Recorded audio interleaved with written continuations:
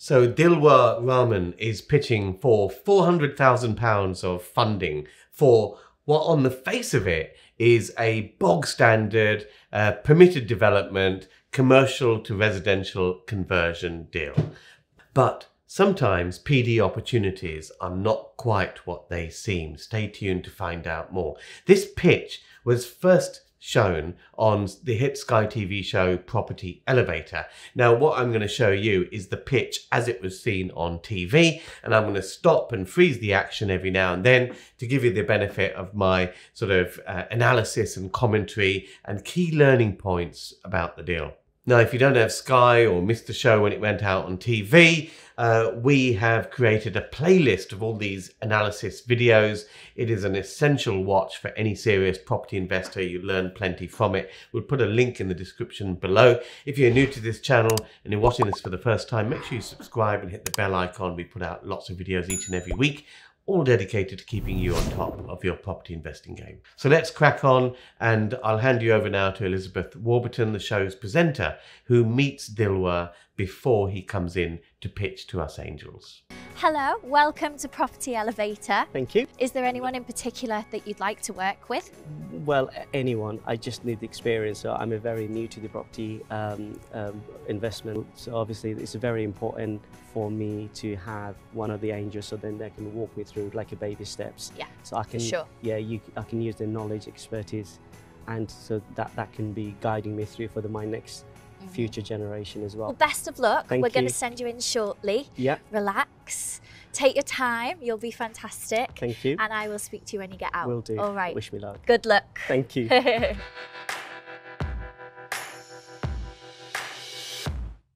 I the deal I have got today is a res, uh, commercial to conver- uh, residential conversion, Yeah. which is based in Portsmouth, uh, based in Fareham town centre. The property asking price on the market is two hundred seventy-five thousand pound, and I managed to put an offer forward two hundred eighty thousand pound, subject to planning and all that. In, uh, the reason I put the two hundred eighty thousand pound, there is a lot of interested parties going on. There is a she, the the uh, estate agent, the lady. She already told me people are interested to buy this property on a cash. So she said, if you if I really wanted to win the bid, I need to think about something over the asking price. Now, first of all, folks, don't get too excited by estate agent BS, shall we say. Um, they will always make out that there's tons of interest in every single property. There always is. And they will always uh, encourage offers over the asking price. The important thing is not to get too excited by what the estate agent is saying, but always look at the fundamentals. What is the property worth to you? In other words, uh, what can you do with it? um, what are the costs of getting there, how much profit do you need to make, and you're left with basically the maximum price you can pay for it. That's essentially it.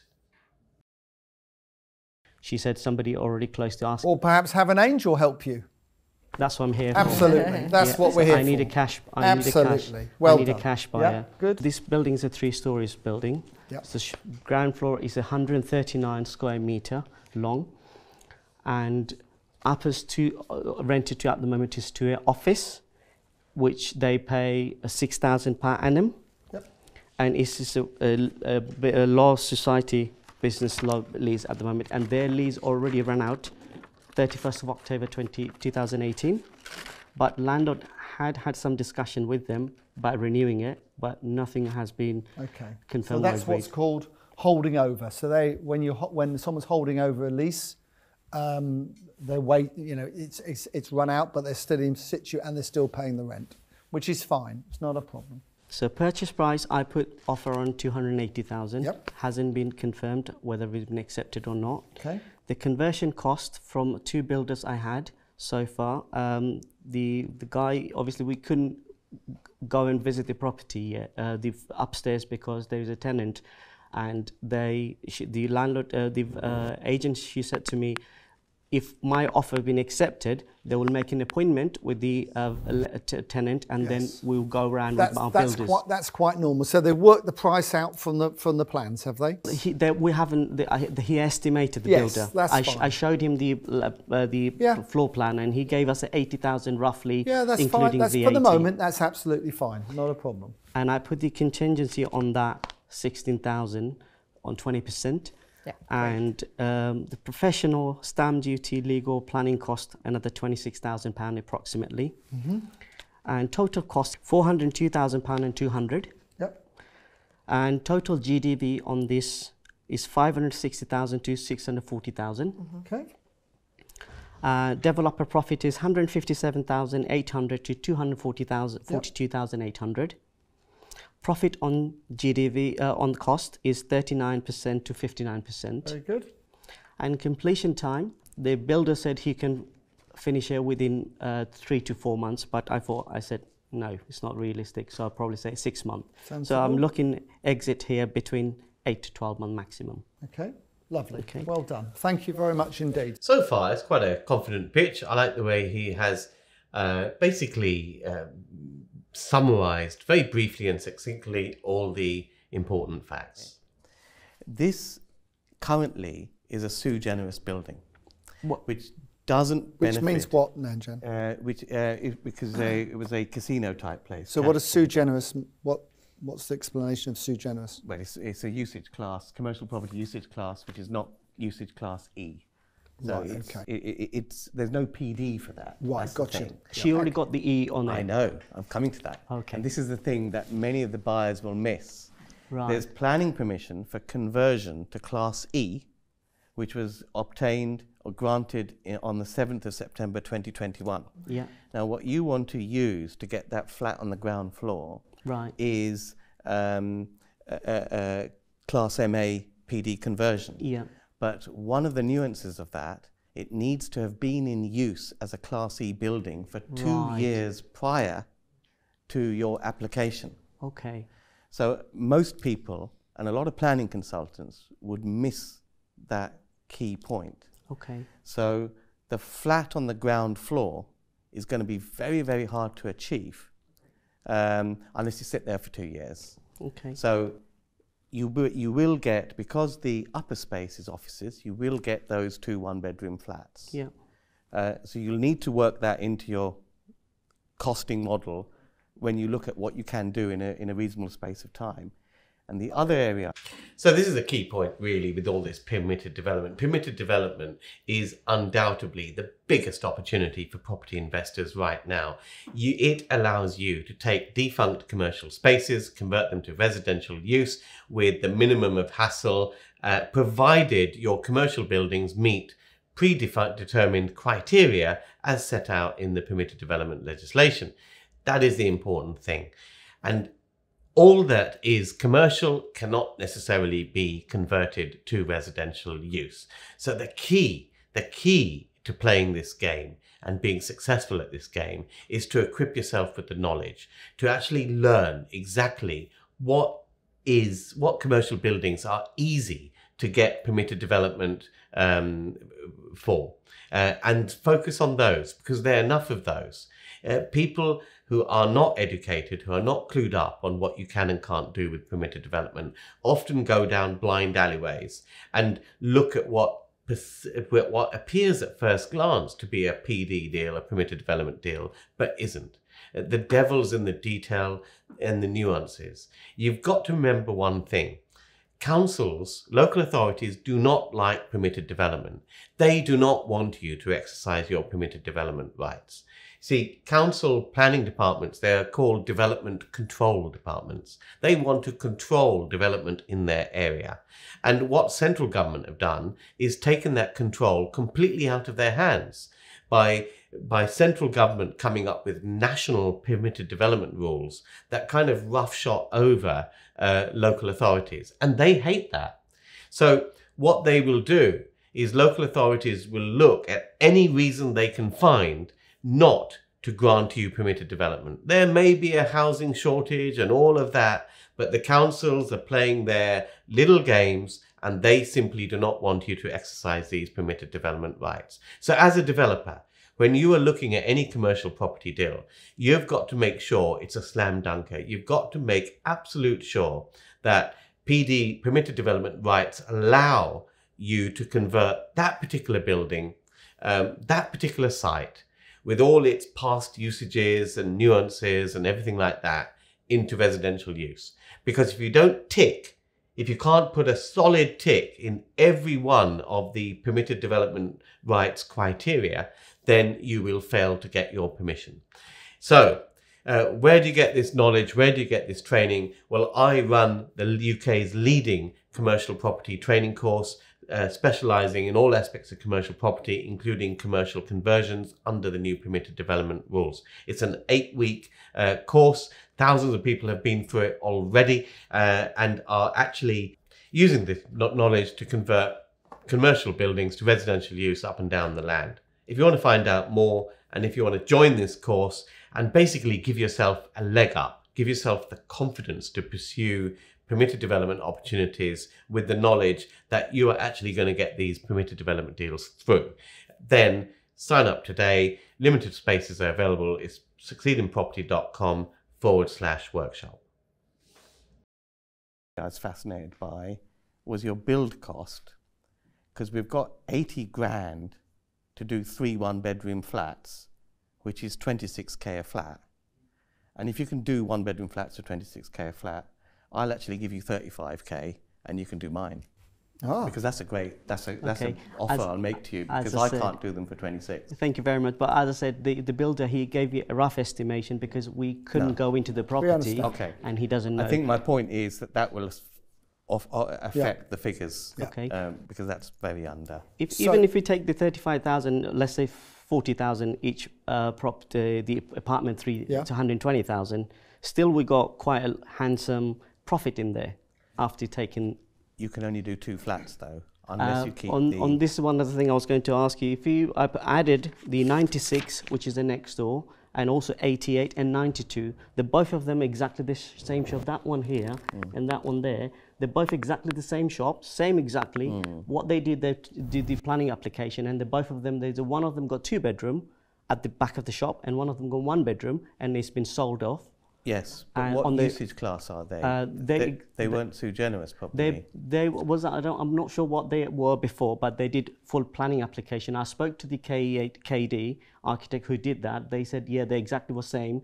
And uh, I asked him what's the chances of my our one. Uh, He he said yeah, it's not a problem at all because all of this on this street they're exactly same layout of the shop and they have done a planning application. And I said how long will you roughly do you think is going to ex- uh, take the planning process? He said it's gon- not going to take more than three to four months because the, port, uh, the Fareham Council is quite good. Yeah, It's with- the latest is six months. With, with planning, um, it, it's not just what the layout is, it Yeah. is also what the use is. Is most importantly what the use is. So what Ranjan's saying is that the use of those two shops might have been A1, A2. They might have come under certain PD rights, and that's why they got the rights to convert it. Right, This okay. one was a sui generis use, which is an all other class. It Okay. covers all sorts of things that don't fall within some of the standard planning Right. classes.